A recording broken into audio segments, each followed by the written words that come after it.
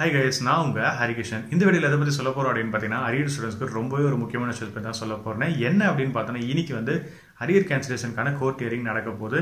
ஆனால் இந்த கோர்ட் ஹியரிங்கோட லைவ் வீடியோ கான்ஃபரன்சிங்கை வந்து யூடியூப்பில் வந்து அப்லோட் பண்ணவே அதாவது யூடியூப்பில் வந்து இது லைவாக வந்து போட்டு காட்டவே இது வந்து இப்போது ஜட்ஜோட பார்வைக்கு எடுத்து செல்லப்பட்டிருக்கு.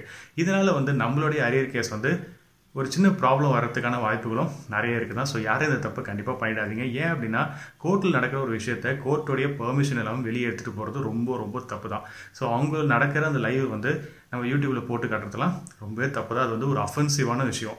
இது மட்டும் இல்லாமல் நிறைய பேர் வந்து நம்ம சேனல்லையும் வந்து ஸ்டார்டிங்லேயே கேட்டிருந்தாங்க. ஏன் ப்ரோ நீங்கள் வந்து கோர்ட்டில் நடக்கிறது வந்து லைவாக யூடியூப்பில் போட்டிங்கன்னா நிறைய பேர் யூஸ்ஃபுல்லாக இருக்கும் இல்லையா? அங்கே என்ன நடக்குதுன்றது நிறைய பேர் பார்ப்பாங்களா அப்படின்னு சொல்லியிருந்தாங்க. ஸோ வந்து அப்பயும் ஸ்டார்டிங்லேயே இதை தான் சொன்னது. லைவ் போடுறதுன்றது ஒரு டூ ஆர் த்ரீ மினிட்ஸ் தான் கண்டிப்பாக எடுத்துக்கும். அந்த லைவ் கான்ஃபரன்ஸில் என்ன நடக்குதுன்றத யூடியூப்பில் போடுறதுக்கு அவ்வளோ நேரம் தான் செட்டப்பே எடுத்துக்கும். ஆனால் அது வந்து லாக் ஒரு அகேன்ஸ்டான ஒரு விஷயம். ஸோ அதனால தான் நம்ம அது பண்ணாமல் இருந்தோமே. ஸோ கண்டிப்பாக வந்து யாராவது இதுக்கு மேலே யாராவது பண்ணியிருந்தீங்கன்னா அது கண்டிப்பாக பண்ணாதீங்க. இதனால வந்து அரியர் கேன்சலேஷன் கேஸ் வந்து பாதிப்படைகிறதுக்கான வாய்ப்புகளும் இருக்குதா? ஸோ அந்த மாதிரி யாரும் தயவு செஞ்சு பண்ணிடாதீங்க. இதை நான் வந்து ஒரு ரெக்வஸ்ட்டாக தான் கேட்டுக்கிறேனே. ரொம்ப ஒரு தாழ்மையோட ரெக்வஸ்ட்டாக தான் கேட்டுக்கிறேன். ஸோ யாரும் இதை கண்டிப்பாக பண்ணிடாதீங்க.